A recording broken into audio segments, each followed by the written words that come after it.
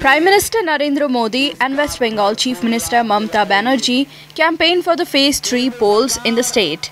Addressing the people in Hooghly, Narendra Modi accused Mamta Banerjee of doing injustice to farmers by denying them benefits of centre's PM Kisan Samman Nidhi scheme. साथियों बंगाल के गरीब किसानों के साथ तो दीदी ने अपनी विशेष नफरत दिखाई है।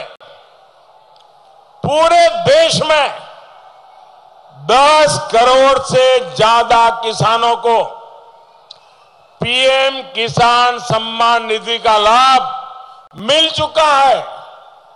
देश भर के किसानों के बैंक खाते में सीधे सवा लाख करोड़ रुपए जमा कराए गए हैं। लेकिन ये लाभ बंगाल के किसानों को नहीं मिला दीदी ने बंगाल के लाखों कृषकों को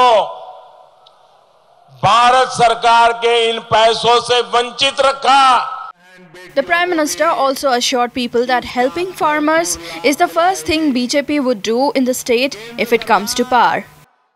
भाई और बहनों दो मई को। यहाँ सिर्फ़ डबल इंजन की सरकार ही नहीं बनेगी, बल्कि डबल बेनिफिट, डायरेक्ट बेनिफिट देने वाली सरकार बनने वाली है। बंगाल में बीजेपी सरकार आने के बाद सबसे पहला काम किसानों के हित में फैसला लेना होगा। Narendra Modi also claimed previous two phases of polls in the state were in favour of the BJP आशोल परिवर्तन। आशोल परिवर्तन के उद्घोष में और सोनार बांग्ला के विजन में बंगाल के लोगों की यही आकांक्षा है।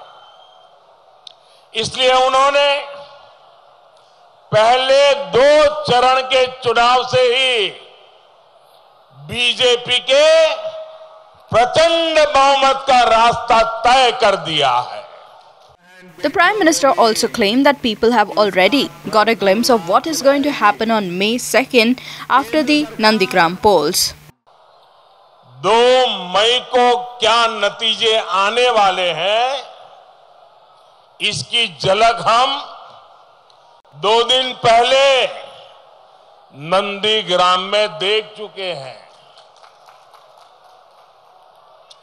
मुझे पक्का पता है, हर चरण के चुनाव के साथ दीदी की ये बौखलाहट बढ़ती जाएगी।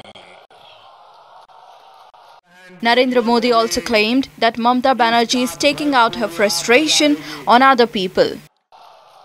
मुझ पर गालियों की बौछार भी बढ़ती जाएगी और अब तो इलेक्शन कमीशन कहो सुरक्षा प्रबंध वाले लोग हो हर किसी पर हम सब जानते हैं क्रिकेट के मैदान में अगर कोई खिलाड़ी बार बार अंपायर पर सवाल उठाए तो समझो उसके खेल में खोट है On the other hand, TMC chief Mamta Banerjee also held a rally in North 24 Paraganas and accused the BJP of dividing the country.